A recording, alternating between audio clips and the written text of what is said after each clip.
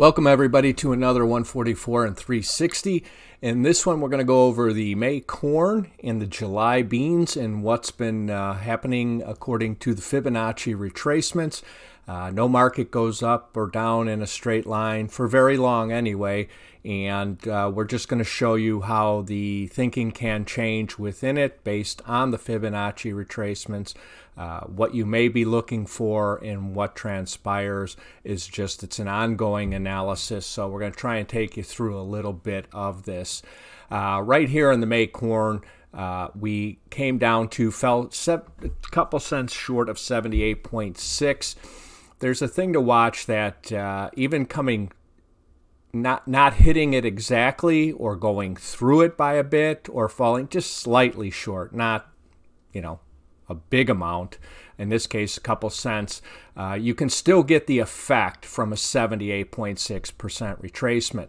Now, when we look at that, we know the ONE44 rule is any move that uh, hits or holds 78.6% can go 78.6 the other way.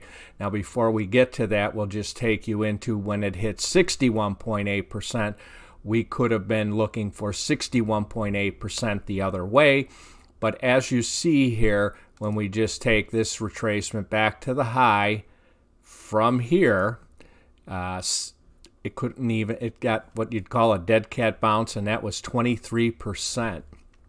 So we know that with 23%, uh, you're either in a very strong or very weak market and looking for the next retracement above below. In this case, one other thing about this, we cannot retrace this low back to the extreme high until this low is taken out. It does not become, it's got to be a direct move of extremes. So in this case, this was the highest high since this low. That's why we're using that one. Now, just getting back to where we are here, 78.6 should send us 78.6 the other way, and that's right up here. And this is our target of 690.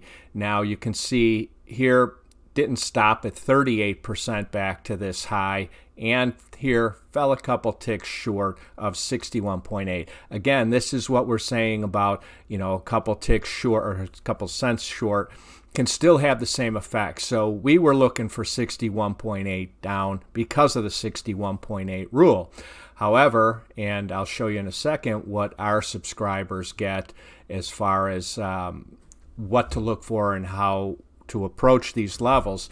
Um, well, I'll just bring it in here real quick. Um, this is our thing for May corn. This is what our letter looks like here with our long-term, intermediate, short-term uh, swing points and targets for May last week. We were using, this was put out right here on this day here on uh, the 6th of April. Use 645 as the swing point for the week.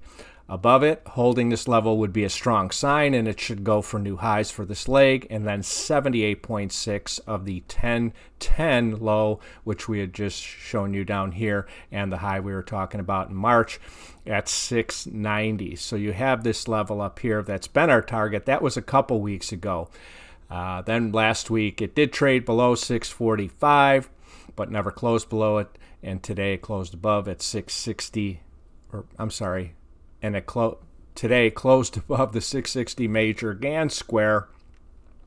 So we're using 660 as a swing point for the week. Monday's low uh, was 62. Above it, the target area is 690 to 699 major Gann square, just updating from the previous week as our target here. So this is what we uh, put out each week. Uh, below didn't matter because we never got down there. And two, the other thing is that we being a weekly thing, we have to put out what to look for just in case things happen. You still have to watch a trade above 660 that hits 71 here, where we're talking about, and would close back below 660. This never happened, so it becomes a mute point. So it's just a matter of what we're looking at and how we're looking at it. So you can see here this market, even though we were looking from 61 to 61, it held 38%, and that's why we watch all the retracements on every move uh, just to see how weak or strong the market is. In this case, 38.2 held. Uh, always can have one close below it. The second one is the most important, as you see here. It just turned this tide here, sent it right back up, and 690 is that target. Now, when we go into the July beans, we'll give you a little different story here, or a little picture, but same kind of thing with different levels. Uh, this low here was 61.8 of this high on uh, 1230 of last year and the 722 low. Now, 61.8, as we just mentioned before, should send you 61.8 the other way. This target was hit.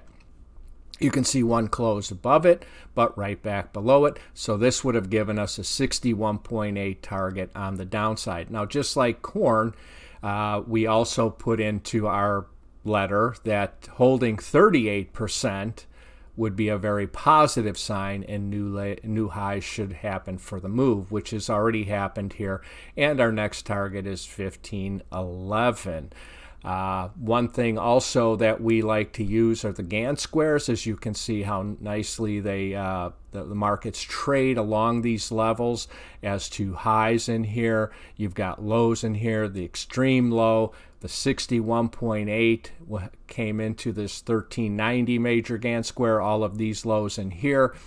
These uh, we like to kind of connect the two of them and use this as all of our stuff is on price analysis with two major ways of looking at it, and that's uh, WD Gann's uh, major Gann squares and the Fibonacci retracements.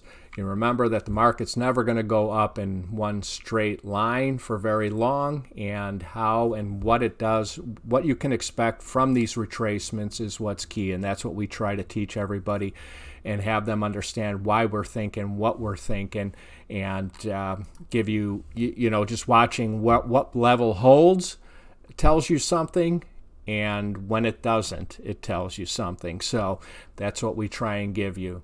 Uh, that's it for this uh, video. Please uh, subscribe to us on YouTube, and if you trade the grains, uh, please subscribe to us on uh, our webpage, one44analytics.com and uh, we'd love to see you as a premium member. So until the next video, have a great day.